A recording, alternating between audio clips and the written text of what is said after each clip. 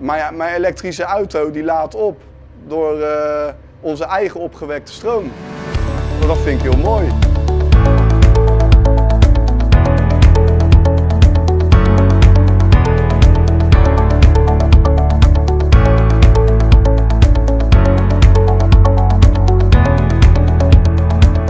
Ik ben Remco, ik ben allround onderhoudstechnicus bij het waterschap Hollandse Delta.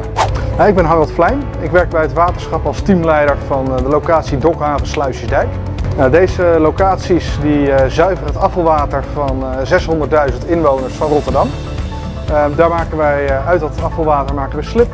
Daaruit halen we biogas en produceren we zo'n 8 miljoen kilowattuur aan groene energie. Wat ik in het uh, waterschap probeer te doen met mijn uh, monteurs is uh, te zorgen dat ze steeds verder en breder opgeleid worden. Omdat ze hier te maken hebben met diverse technieken en ook veel specialistische technieken. Als onderhoudstechnicus voer ik onderhoud uit aan pompen, aan gasmotoren, aan verschillende soorten afsluiters. en we doen vooral veel aannemers begeleiden in het uh, werk wat wij zelf niet doen. Ik, ik werk in een uh, bijzonder leuk team. Er wordt heel veel gelachen.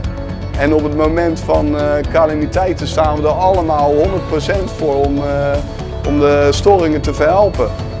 En ja, daar, daar geef ik me 110% voor.